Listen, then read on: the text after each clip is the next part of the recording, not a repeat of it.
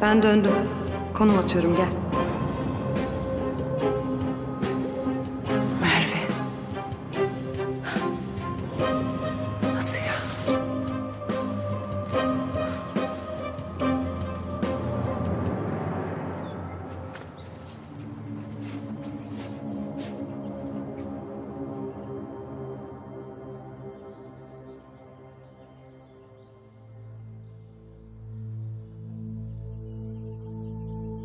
Neden hiç haber vermedin?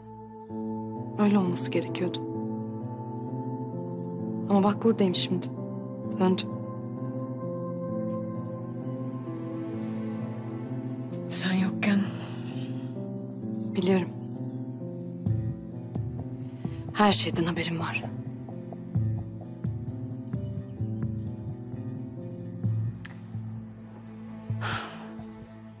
burası neresi ya? Kuzenimin evi. Ha şey Sedef'in. Başka kuzenim. Sen tanımıyorsun. Çok uzun yıllar yurt dışındaydı. Ama biz irtibatımızı koparmamıştık. Sağ olsun kırmadı beni.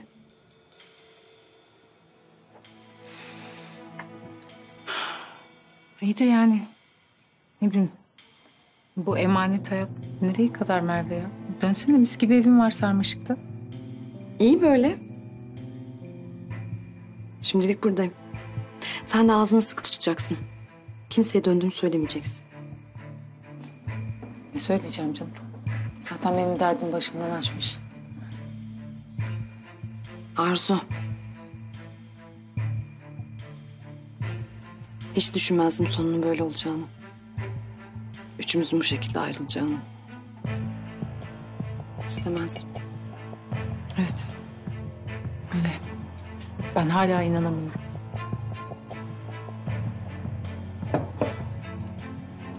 Sen kimin yaptığını biliyor musun?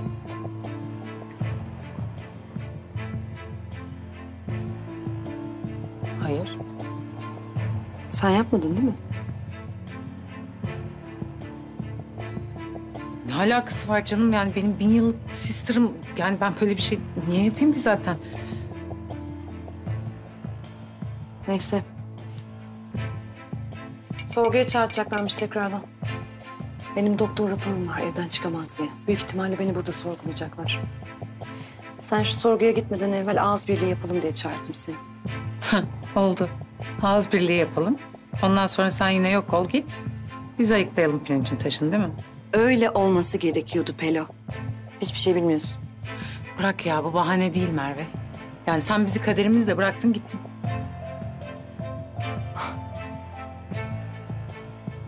Peki Pelo'cum. Bu kadar direndiğine göre var bir planın. Okey. Herkes kendi bacağından ısılsın. Ben öyle demedim. Yani tamam. Ne? Bir fikrin söyle dinliyorum. Arzu bizi tehdit etti diyeceğiz. Nasıl? Şimdi emniyete gittin annen şunları söyleyeceksin. Arzu bizim kaç yıllık arkadaşımız. Neyi yapıp neyi yapmayacağını biz biliriz. Azıcık delidir ama yani öyle kabul ettik onu. Sonuçta liseden beri birlikteyiz. En iyi biz tanırız onu. Gözü kara bir tarafı vardı hep. Hani sağ solu belli olmaz derler ya. Biraz gelgit akıllıydı. Öyle olunca da Arzu'dan hep tırsmıştık biraz. Ben kendi adıma korkardım ondan. Seneler içinde de bu hep böyle devam etti. Hiç sesimizi çıkaramadık. Ama hep korktuk. Üzerimizde psikolojik bir baskısı vardı. Arzum, Evet Arzu'nun. amirim.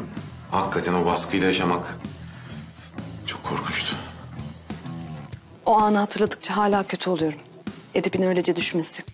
Korkunçtu. Şok olduk. Yaşadığımız travma o kadar büyüktü ki. Sağlıklı bir karar vermek çok zordu. Ben o anı görmedim tabii. Ama bu olayı öğrenmek, kimin yaptığını bilmeden hep bir şüpheyle yaşamak beni mahvetti. Susma fikri Merve Hanım'dan çıktı demiştiniz o gün yemekte.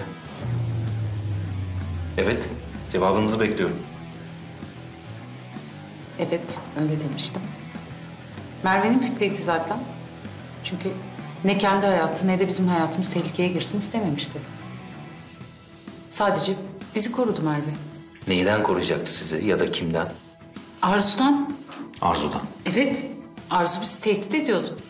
Evlatlarımız, ailelerimiz söz konusuydu. Hayatlarımız söz konusuydu ya. Nasıl bir tehdit? İşte sizi de öldürün falan diyordu. Yani bir kere yaptım. Bir daha yaparım gözümü kırpmam diyordu. Yani delirmiş gibiydi. Can güvenliğinden endişe ediyor insan komiserim. İşte tam bu yüzden bize gelmeniz gerekmiyor muydu? Evet. Ben size geldim zaten. Siz de hatırlarsınız belki.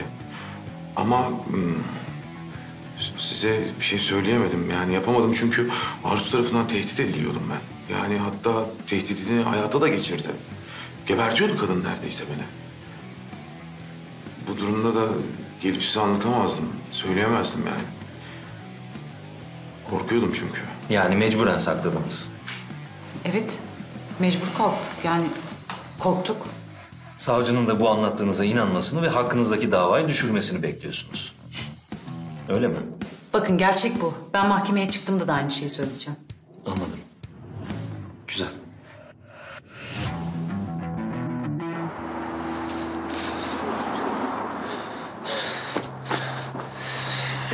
Amirim. Yırtacaklar. Ne? Evet. Y- Yırtacaklar. Ölümle tehdit edildiklerini bu yüzden susmak zorunda kaldıklarını söylüyorlar. Bu nasıl olur ya? O, o Pelin Kaner gözümün içine baka baka yalan söylüyor bana. Taylan Kanar peki? Onun doğru söylediği şeyler var. Ama tutarsız, zamanlamalısı tutmuyor.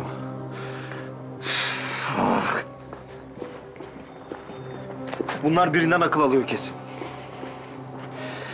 Başkasının ağzından konuşuyorlar sanki. Eğer bu işin içinde Merve Aksan parmağı yoksa ben de hiçbir şey bilmiyorum.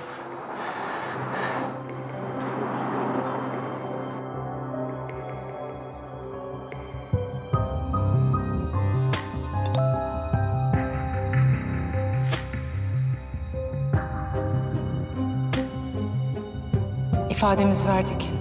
Konuştuğumuz gibi. Hallolacak gibi.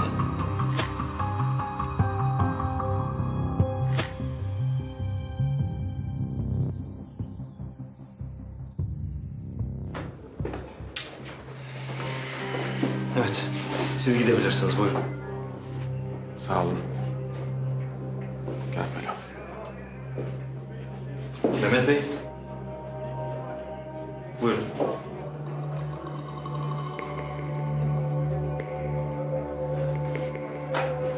Evet Mehmet Bey.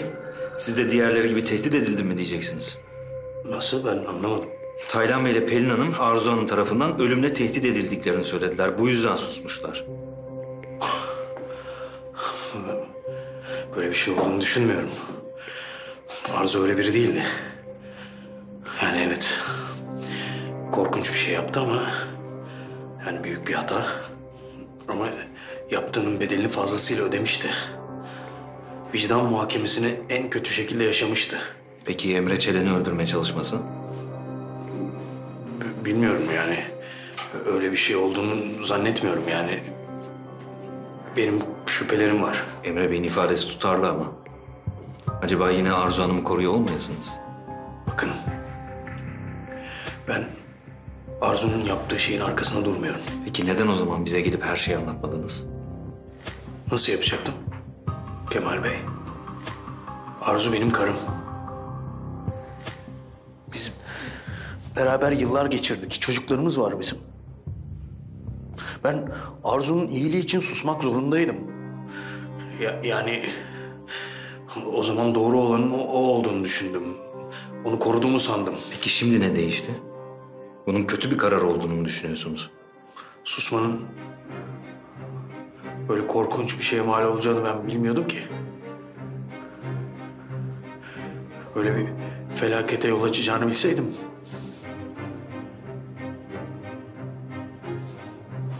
Yani ben olacakları göremedim ki. Allah kahretsin görmedim işte. Özür dilerim.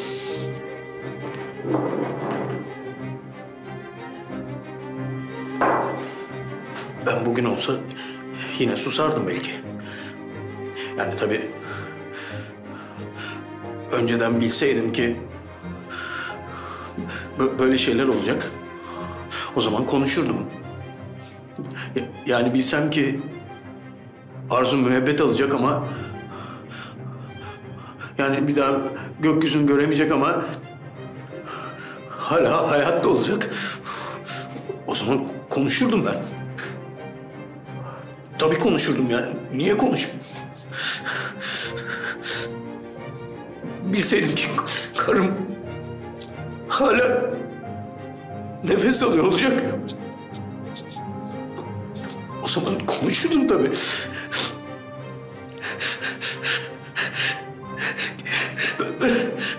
Ben, ben ke- keşke zamanı ge- geri alabilsem.